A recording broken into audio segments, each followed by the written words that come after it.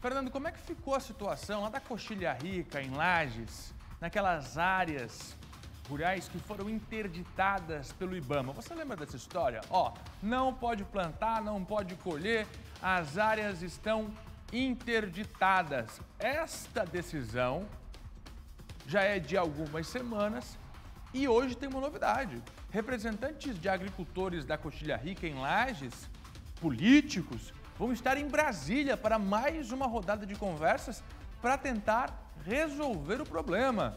Então vamos para lá. Cláudia Plete, agora comigo ao vivo, direto da Serra. Por enquanto as áreas continuam interditadas, Cláudia. E como é que está essa situação da reunião que acontece hoje em Brasília?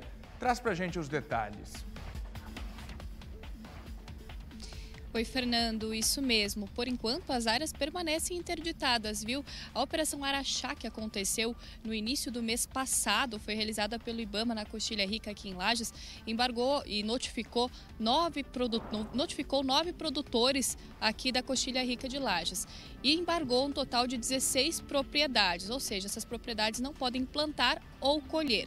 É, essa decisão é baseada, de acordo com o IBAMA, na lei da Mata Atlântica, onde não pode haver supressão de vegetação de, de, dos campos nativos né, para o plantio mas os produtores eles alegam que o plantio é feito nessas propriedades da Coxilha Rica há mais de um século, que não há a supressão de vegetação nesses locais.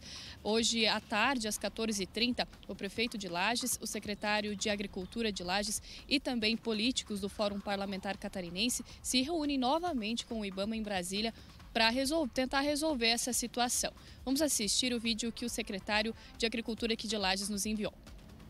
Então hoje à tarde, às 16 horas, teremos uma reunião junto com o Fórum Parlamentar, a, a pedido do deputado Darcy de Matos, para tratar desses assuntos e solicitar ao presidente do IBAMA que seja feito o desembargo dessas propriedades e que seja analisado com muita cautela e muito carinho todos esses essas notificações feitas aos nossos produtores, o que inviabiliza não só a nossa região da Coxilha Rica, como todo o estado de Santa Catarina. É, o, o, presidente do Sindicato Rural aqui de Lages, o Márcio Pamplona, ele explicou né, que já foram enviados para o IBAMA todos os documentos que comprovam que as propriedades elas produzem já há mais de um século e que não há irregularidade nessa produção.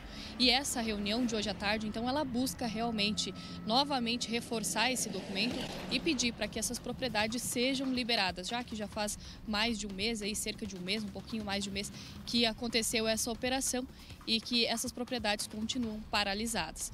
Volto contigo, Fernando.